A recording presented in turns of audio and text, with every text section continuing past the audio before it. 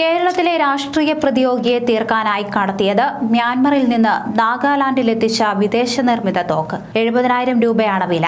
അതിനിടെ വടക്കുകിഴക്കൻ സംസ്ഥാനങ്ങളിൽ നിന്നും വിദേശത്തു നിന്നും അടക്കം കേരളത്തിലേക്ക് തോക്ക് ഉൾപ്പെടെയുള്ള ആധുനിക ആയുധങ്ങളുടെ കള്ളക്കടത്ത് നടക്കുന്നതായി കേന്ദ്ര ഇന്റലിജൻസ് റിപ്പോർട്ട് ചെയ്യുന്നുണ്ട്. ഇതിലെ കണ്ണികളാണ് കുടുങ്ങിയത്. രാഷ്ട്രീയ നേതാക്കളെയും മാധ്യമപ്രവർത്തകരെയും ലക്ഷ്യമിടുന്ന സംഘമാണ് കടത്തുന്നത്. കേരളത്തിലേക്ക് കൊണ്ടുവരികയായിരുന്ന വിദേശ നിർമ്മിത തോക്കുകൾ കഴിഞ്ഞ ദിവസം ബംഗളൂരുവിൽ പിടികൂടിയിരുന്നു. ടി പി ചന്ദ്രശേഖരൻ വധക്കേസ് പ്രതി ടി കെ രജീഷ് ഉൾപ്പെട്ട വൻ സംഘമാണ് തോക്കുകടത്തിന് പിന്നിലെന്നാണ് പോലീസിന്റെ സംശയം. കണ്ണൂർ സെൻട്രൽ ജയിലിലെത്തി രജീഷിനെ കസ്റ്റഡിയിലെടുത്ത ബംഗളൂരു പോലീസ് അജ്ഞാത കേന്ദ്രത്തിൽ എത്തിച്ച് ചോദ്യം ചെയ്യൽ തുടരുകയാണ്. നിർണായക വിവരങ്ങൾ ഇതിൽ നിന്ന് കിട്ടിയിരുന്നു.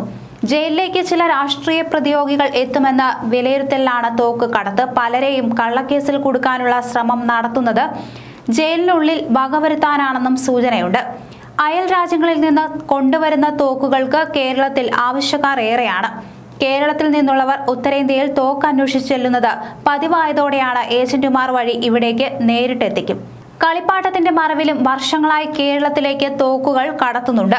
കളിപ്പാട്ടങ്ങളിൽ രൂപമാറ്റം വരുത്തി പിന്നീട് ആധുനിക തോക്കുകളായി മാറ്റും. കേരളത്തിലേക്ക് കടത്താൻ എത്തിച്ച തോക്കുകൾ കഴിഞ്ഞ ആറിനാണ് ബംഗളൂരു കബൺ പാർക്ക് പോലീസ് പിടികൂടിയത്. വിൽപ്പനക്കാരനെ കാത്തുനിൽക്കുന്നതിനിടെ ഇവന്റ് മാനേജ്മെന്റ് സംഘാടകനും മലയാളിയുമായ നീരജ് ജോസഫിനെ ക്വിൻസ് റോഡിൽ നിന്ന് കസ്റ്റഡിയിലെടുക്കുകയായിരുന്നു. ഇയാളുടെ ബി എം ഡബ്ല്യു കാറിൽ നിന്ന് മൂന്ന് പിസ്റ്റളുകളും തൊണ്ണൂറ്റൊൻപത് വെടിയുണ്ടകളും പിടിച്ചെടുത്തു. രജീഷിന്റെ നിർദ്ദേശപ്രകാരമാണ് തോക്കുകൾ എത്തിച്ചതെന്നാണ് ചോദ്യം ചെയ്യലിൽ നീരജ് ജോസഫ് മൊഴി നൽകിയത്.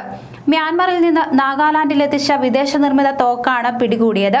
തോക്കൊന്നിന് എഴുപതിനായിരം രൂപ വീതം നൽകിയാണ് നാഗാലാൻഡിൽ നിന്ന് വാങ്ങിയതെന്ന് നീരജ് പറയുന്നുണ്ട്. ബോഡോ തീവ്രവാദികളുടെ സ്വാധീന മേഖലയിൽ നിന്നാണ് തോക്കുകൾ എത്തിയതെന്ന് വ്യക്തമായതോടെ ബംഗളൂരു പോലീസ് അന്വേഷണം ഊർജിതമാക്കി. നീരജിന് വേറെ ആരെങ്കിലും സഹായം നൽകിയിരുന്നോ? രജീഷ് മുഖാന്തരം നേരത്തെയും ആയുധക്കടത്ത് നടത്തിയോ എന്നതടക്കം കർണാടക പോലീസ് പരിശോധിക്കുന്നുണ്ട്. ടി പി കേസിലെ പ്രതികൾ ജയിൽ ശിക്ഷ അനുഭവിക്കുന്നതിനിടെ ക്രിമിനൽ കേസുകളിൽ പ്രതികളാകുന്നത് ഇതാദ്യമല്ല. ജയിലിലിരുന്ന് കൊട്ടേഷൻ പ്രവർത്തനം നടത്തിയതിനും സ്വർണക്കടത്ത് സംഘത്തെ ഭീഷണിപ്പെടുത്തിയതിനും പ്രധാന പ്രതി കൊടിസുനിക്കെതിരെ പോലീസ് കേസെടുത്തിരുന്നു. മറ്റൊരു പ്രതി കിർമാണി മനോജ് വയനാട്ടിലെ ലഹരി പാർട്ടിയിൽ പോലീസ് പിടിയിലായിരുന്നു. ഷാഫിയെ കരിപ്പൂർ സ്വർണക്കടത്തിൽ കസ്റ്റംസ് ജയിലിലെത്തി ചോദ്യം ചെയ്തിരുന്നു. ഇതിനിടയിലാണ് മറ്റൊരു പ്രതിയായ രജീഷിനെ കർണാടക പോലീസ് അറസ്റ്റ് ചെയ്തത്.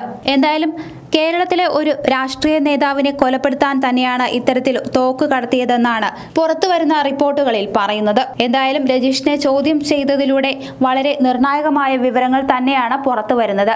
എല്ലാ കുറ്റവും ഏറ്റുപറഞ്ഞിരിക്കുകയാണ് നീരജ് ജോസഫും.